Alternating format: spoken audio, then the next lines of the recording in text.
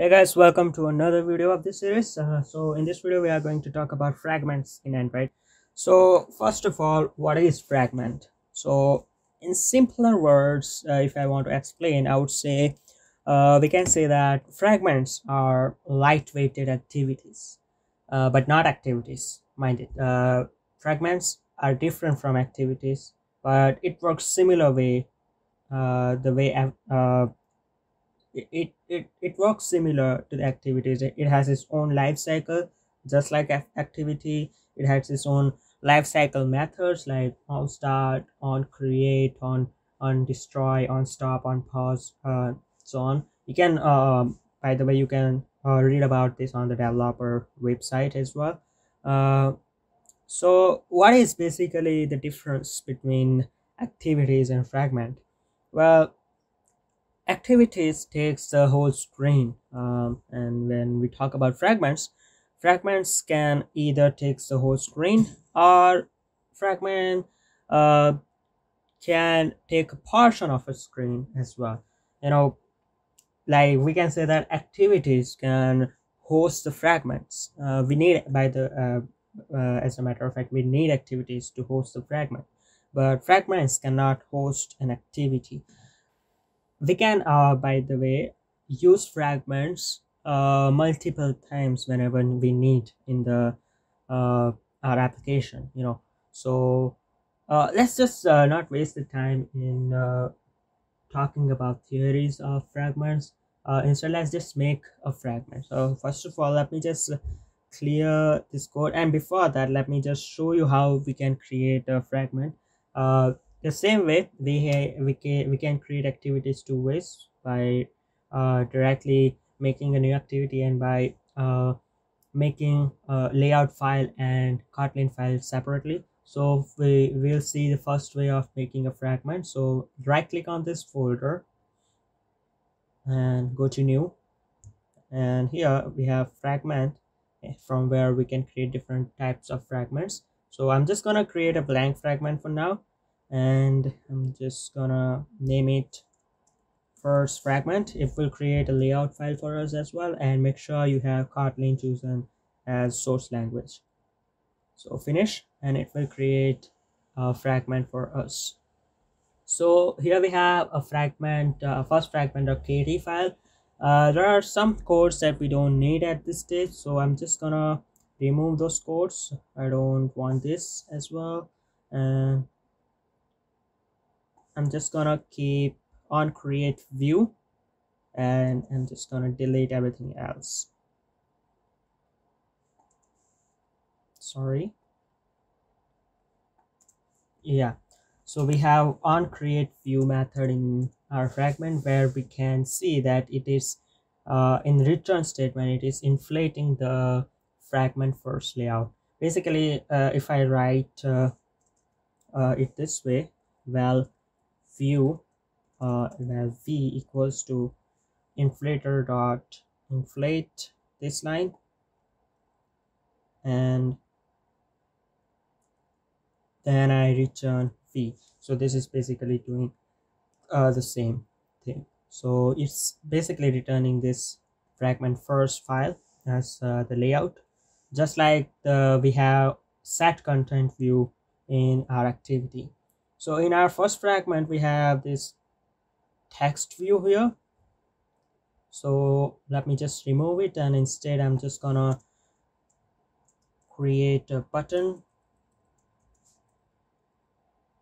Wrap content wrap content id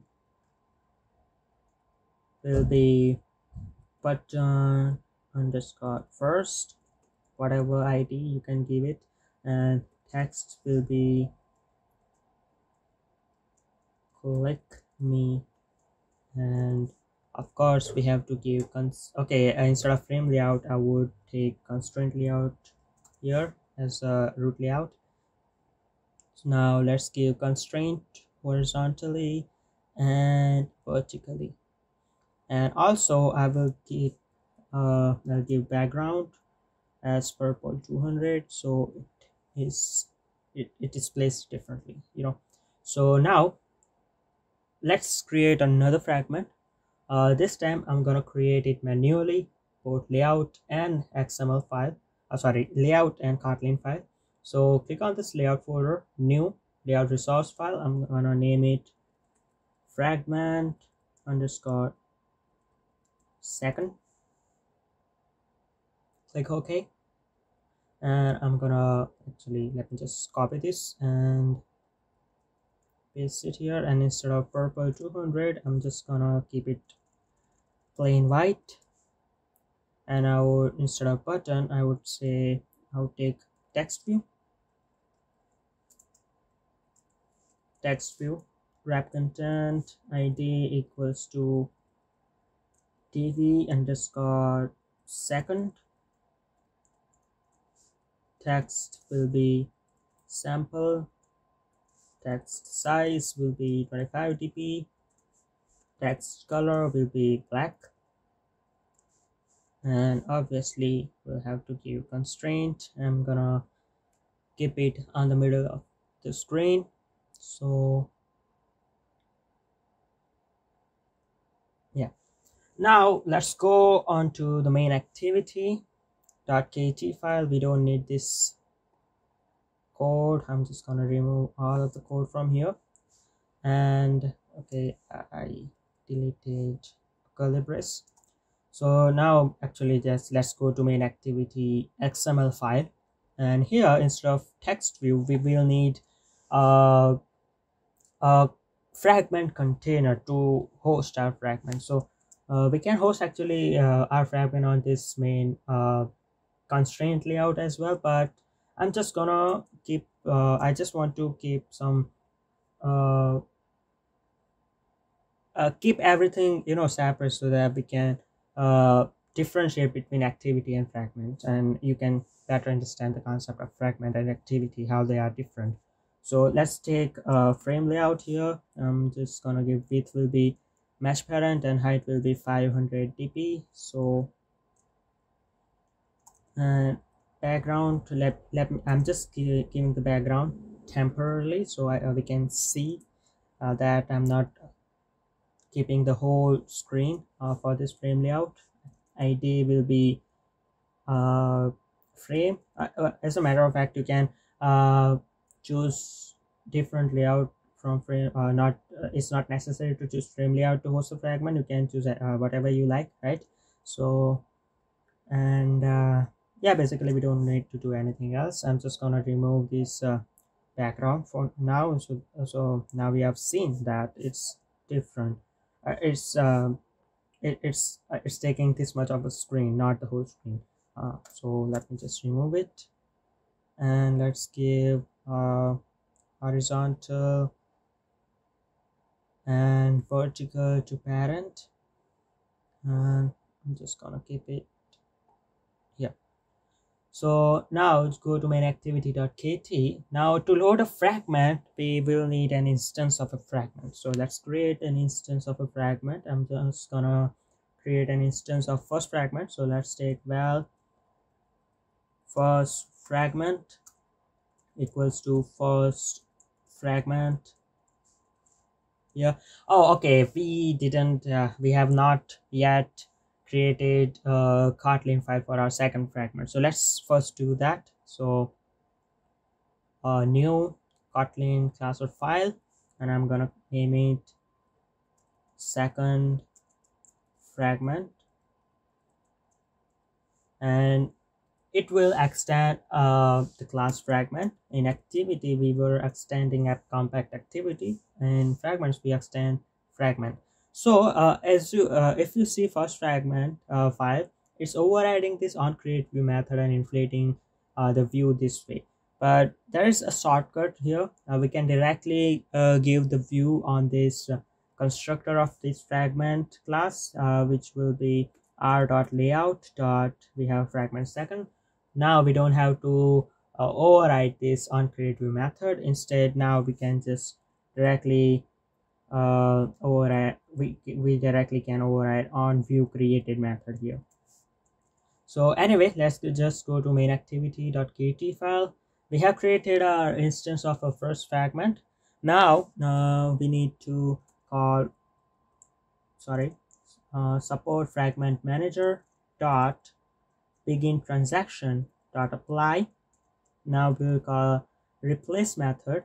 And here we will take two parameters. One will be the id of uh, the layout that we want our fragment to be loaded into. Uh, so we have the frame layout for that. So i'm just gonna give r dot id dot frame. And as a second parameter we will, will give the instance of a fragment which we have already created. First fragment and commit.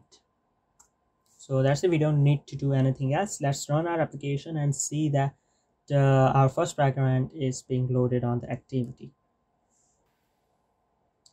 So as we can see our fragment is loaded on our frame layout as we expected it to be right? So now uh, i want to go uh, i want to when i click on this button of fragment i want to go from uh, the first fragment to second fragment. So let's see how we can do that. Uh, actually the second fragment will be loaded on this uh, this uh, this very frame itself so we don't need to create another activity or anything else to host that second fragment. So basically it will it will be placed on top of this first fragment. So uh, think of it like uh, a stack. Uh, we at the base of a stack you have an empty activity or a, a, let's say empty layout. Uh, and then you put fragment on uh, on that layout. Then if you load second fragment it will be loaded on to that uh, first fragment then third fragment will be on top of this second fragment and so on. So just think of it as uh, like a stack. So let's just uh, click on this button and load the second fragment for now. So go to the first fragment dot uh, kt file. Here uh, we have to override um, on view created method. And we'll take a variable for our button of type button.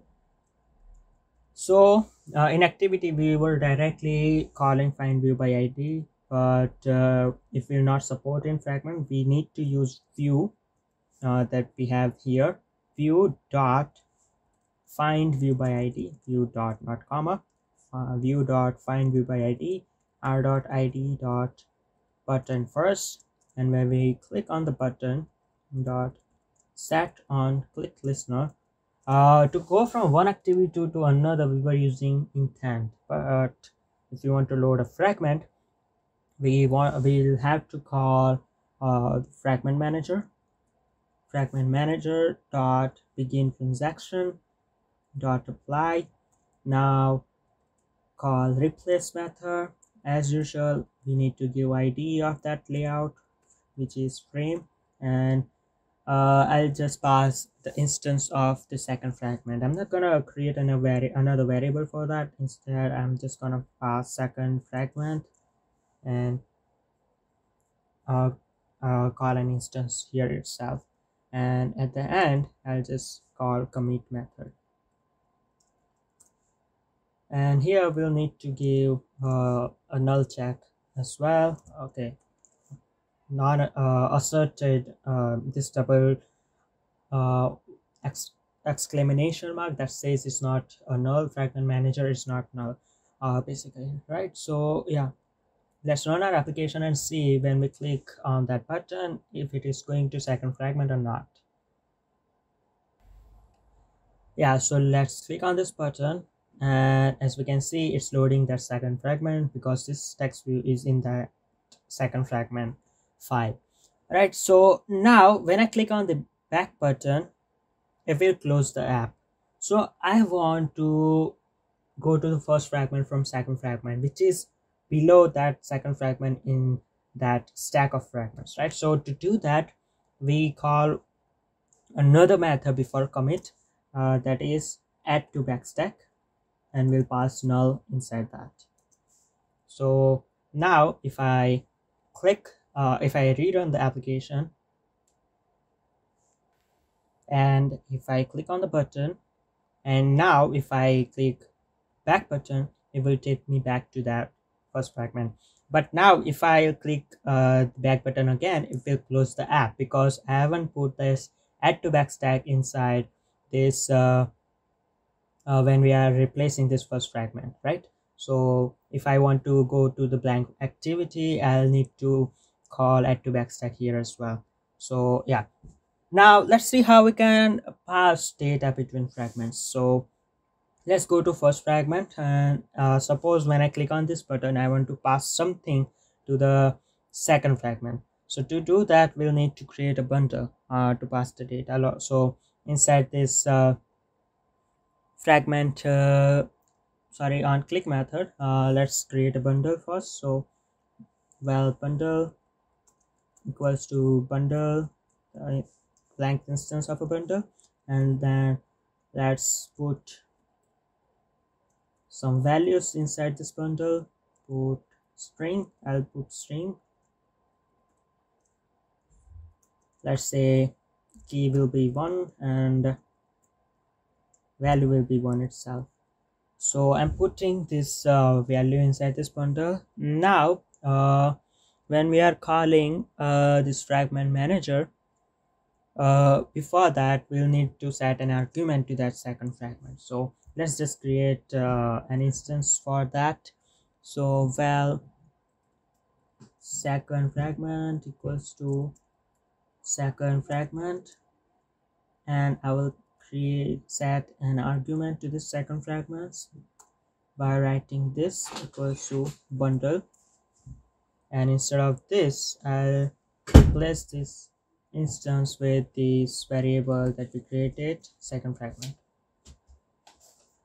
And to catch this uh, argument at the second fragment we'll call uh, we'll take another variable s equals to arguments dot get string because we passed string and we write this one key that we passed there and now we'll take another variable for text view equals to uh, view dot find view by id text view. R dot id dot tv second and tv dot uh, text equals to s. And obviously we need to call this a, a double exclamation mark here before arguments. So now if we run our application uh, when we click on that button our text view will be changed to 1 because we are passing that one value with the arguments to the fragment. So let's click on this button and the text will be changed to 1 so that's how you pass values between fragments using arguments. So yeah that was uh, this was all about fragments loading fragments add to backstack and arguments in fragments. So that's it for this video. I'll see you guys in the next video